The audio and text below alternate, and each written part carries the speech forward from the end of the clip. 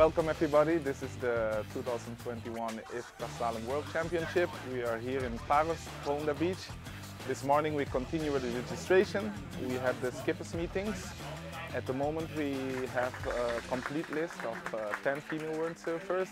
Uh, we got 50 male windsurfers and in total it's 60 competitors from 14 countries. So today was supposed to be the first start at 2 o'clock. Uh, unfortunately, the wind is light, so we are all waiting for the best wind before we can start with the races.